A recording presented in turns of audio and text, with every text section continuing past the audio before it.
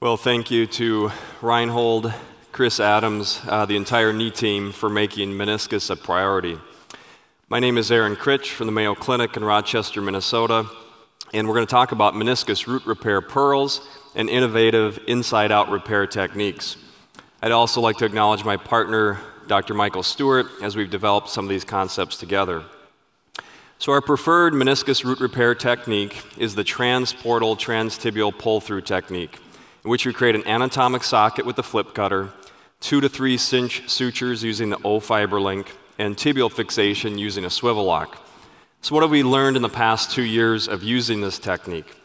Well, what was once a silent epidemic is now becoming common. 10 to 21% of meniscus repairs presenting to our clinic are, in fact, root tears. We still see the rapid progression of chondral degeneration with an untreated meniscus root tear. And now we're recognizing more and more with this publication by Freddie Fu and AJSM this month that the lateral meniscus posterior root tear increases knee laxity in the ACL deficient knee by one plus grade. While the medial root is easy to see on MRI and visualize, the lateral meniscus root remains a challenge. One in three cases at our institution was missed on preoperative MRI. Therefore, with the lateral root, it's often an arthroscopic diagnosis. Take this an acute ACL tear and a seemingly normal lateral compartment until the posterior horn root is probed and you can see a complete traumatic avulsion. So you always must be prepared in these cases. In my opinion, the best way to be prepared is to have the root repair kit available. Your circulating nurse can open up one package. You can very efficiently perform your root repair and 10 minutes later be on with other parts of the surgery. So, some pearls. First, you need to create a space. On the medial side, you often have a very tight compartment. We don't want to destroy the cartilage we're trying to save. So, in this case, we perform an MCL lengthening by placing the knee in valgus and perforating the femoral side of the MCL to create a grade 2 opening, taking this from mission impossible to something that's very accomplishable. We've also been using the power rasp to perform a reverse notchplasty of the medial femoral condyle and resecting the medial tibial spine. You can't fix what you can't see. It also creates a working space for us, and it also provides bony bleeding biology at the repair site. It's important to hit the target. If you don't restore the anatomy, you won't restore the biomechanics. We prefer the root repair guide. Its advantages being the concave design to get it underneath the condyle. The marking hook hooks the back of the tibia. Adjustable pin placement allows for patient variation anatomy. The swivel handle avoids torque and coalescence when uh, performing concomitant procedures, and reliable two point fixation allows you to hit the target. So here's an axial cross section of the tibia. The transtibial root guide is designed to hook the posterior aspect. If you're coming more anterior into the PCL fossa, then your guide is also going to have a pin that's placed more anteriorly. So again, hook the posterior aspect of the tibia, you'll hit the target. If you're coming forward in the PCL fossa, your pin will be anteriorly. So here's what it looks like on a sawbones model. We hook the back of the tibia, we tamp down the step guide. We prefer to use a 3.5 millimeter pin first, and you hit your target. This is the typical posterior hook. If you come anteriorly into that PCL fossa, then your pin will also come anteriorly, and we hear this is a common uh, issue.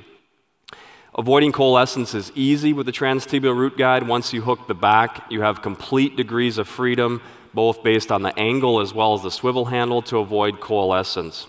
That allows you to do cases like this. Here's a 25 year old with acute ACL tear, lateral meniscus, and medial meniscus root tear. Here we perform lateral meniscus, transtibial pull through root repair technique, same on the medial side, and reconstruct the ACL all in the same setting. Here's a patient that requires a valgus producing proximal tibial osteotomy with the iBalance, ACL reconstruction, and medial meniscus root repair. Again, all in one setting because the swivel handle allows you to avoid coalescence. We place easy cinch sutures using the knee scorpion with O FiberLink. If you place the loop on your knee scorpion first, it's a very fast and efficient way to pass your sutures. We just finished enrollment in our prospective multi-center trial with 45 patients, all getting the same technique with the anatomic socket with the FlipCutter, two to three simple cinch sutures, and tibial fixation using the SwiveLock. Here's six month MRI follow up on one of our patients where you can see the bone edema, mild extrusion of the lateral side before, and at six months, resolution of the bone marrow edema and actually improvement in some of the extrusion we're seeing on the lateral side. Here's SOS data on those 45 patients at one year, improvement in KOOS scores, improvement in Lysholm scores, and improvement in pain scores. So for the medial meniscus, or for root repair in general, you need to simplify the transtibial repair technique by making the diagnosis, be prepared, have a root kit available, make a space, hit the target using the transtibial guide, avoid coalescence using the swivel technique, and enjoy the results. We're going to move on to innovation with inside out meniscus repair. I think it's important to take a step back and ask what's essential for the meniscus to heal, and that's anatomic reduction, biologic preparation, and circumferential compression, or what I call the ABCs of meniscus repair. If we look at circumferential compression, when we typically place the uh, all inside device, we're compressing the femoral side of the meniscus tear. Oftentimes, we're gapping open the tibial side of the tear, which allows ingress of synovial fluid. And you get MRIs that look like this, where you can't tell is it torn, is it healed? It's probably only partially healed. In this case, we use stacked vertical mattress sutures as a way to provide circumferential compression in this vertical longitudinal tear. Here's a follow up MRI that shows complete healing. We all know the advantages of the traditional inside out technique being smaller perforations with the needle greatest strength of any meniscus repair technique, the greatest flexibility, and versatile. You can provide any stitch configuration. The disadvantages are that you often need two assistants and it can be time consuming. Fortunately, that's improved with the Zone Navigator. The Zone Navigator is an ergonomic needle advancement handle. One other advantage is that you can rotate these 360 degrees to very accurately place needles through your inside out incision allowing a very efficient repair. The second advantage is you can hit all zones of the meniscus. So here's a lateral meniscus from the contralateral portal with a posterior cannula. You can see access from the root all the way across the posterior horn of that meniscus. With the anterior cannula, you have complete access to the anterior horn and body of that meniscus, making it very simple. I think about traditional meniscus repair devices being able to do one thing, Inside out allows you to do everything stacked vertical mattress, horizontal mattress, circumferential compression, complex radial, complex multiplanar tears. Here's a case with a isolated bucket handle tear that involves all zones of the meniscus. So you could perform all inside, outside in, a variety of techniques, but why don't you just perform inside out for the entire meniscus? So it's important to anatomically reduce that meniscus. Your first stitch is your most important stitch. And with inside out, we can stack vertical mattress sutures, access the tibial side so you get circumferential compression all the way to the anterior horn of the meniscus. And here's a one year follow up MRI, complete healing, complete return of function. Here's the zone navigator placing stacked vertical mattress sutures.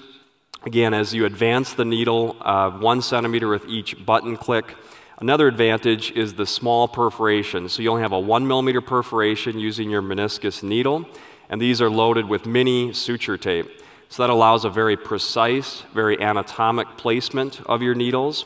And the suture tape provides dispersion of forces across your repair site. So, overall, a very large advantage.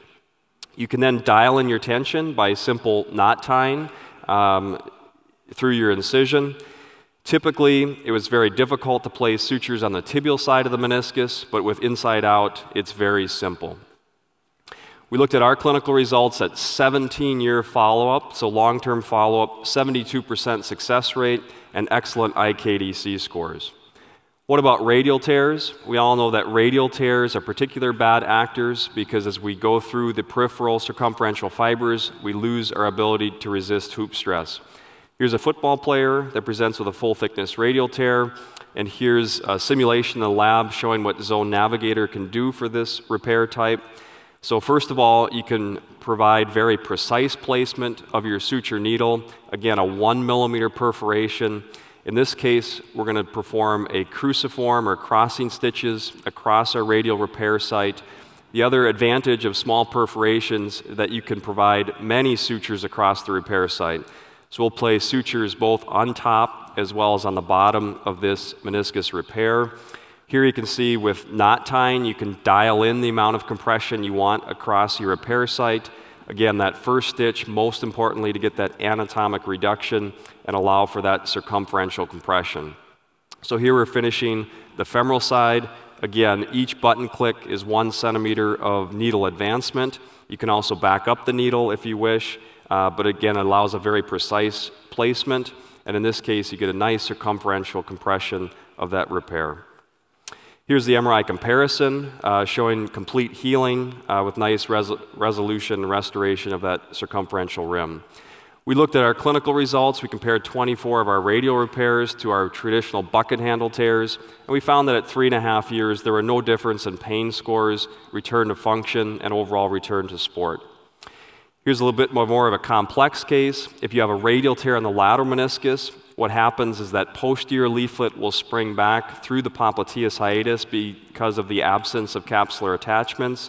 So in this case, even when you pull on it, there's significant tension. So here we'll use a hybrid construct. We're replacing ripstop 2O sutures using the knee scorpion. We'll then perform circumferential compression using our inside-out technique so you can see our final repair construct. And we also restore the cartilage, in this case, with an osteochondral allograft. Similar case, lateral meniscus radial tear at five weeks. Again, you see gapping at the tear site.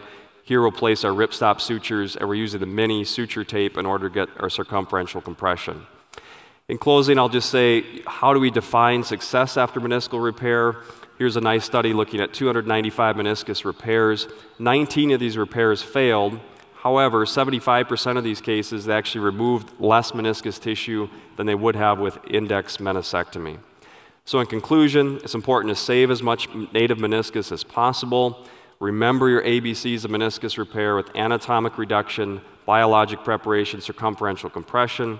Inside out repair has always been the gold standard for meniscus repair, but the Zone Navigator now makes it easier. Thank you.